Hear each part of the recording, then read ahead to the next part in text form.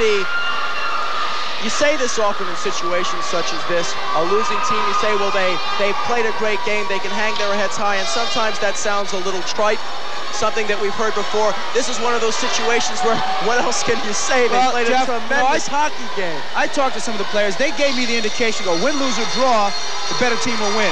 You saw some of those interviews I had with some of the Berlin players, and they knew that they were they were going up against a superior team, but they didn't show it when they played on the ice. They knew that they could skate um, with the Panthers, and they did so.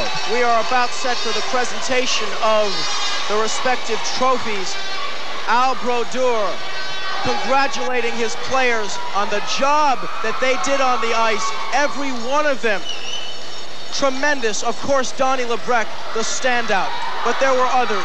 Roland Poirier, who spent six weeks of this season out with a leg injury, coming in and scoring the first goal. Raleigh, who also had two goals in the overtime win over Memorial. And here, Coach Bill Batty can now say he has two state championships in a At row. this time, I would like to present to you the chairman of the NHIAA Ice Hockey Committee, who will make the presentations, Mr. Tony Urban. Tony, please.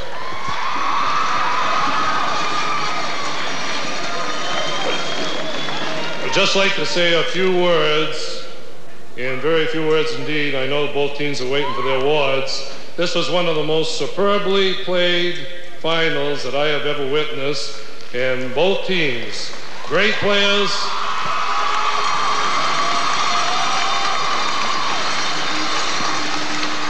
Great players, superbly coached by superb coaches, and great sportsmen. Congratulations. And now, if the Berlin High School coaches and captains will come forward, I will present the runner-up awards.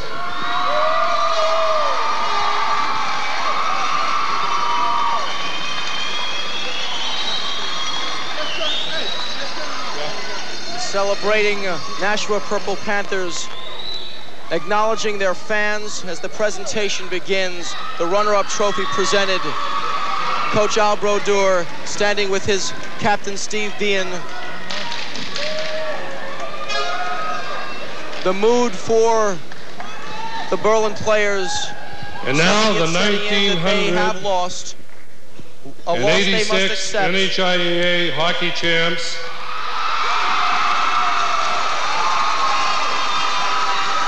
And The Panthers- captains and coaches of the Purple Panthers, please come forward.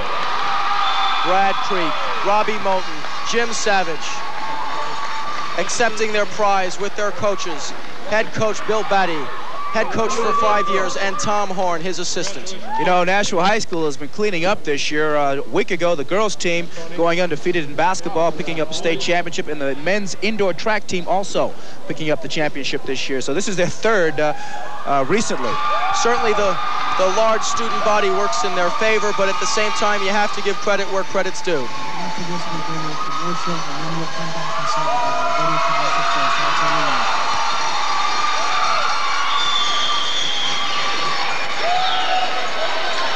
Brad Creek holds that trophy high, Thank you. and everyone comes in to get a feel of it. Thank you everyone wants to touch that trophy.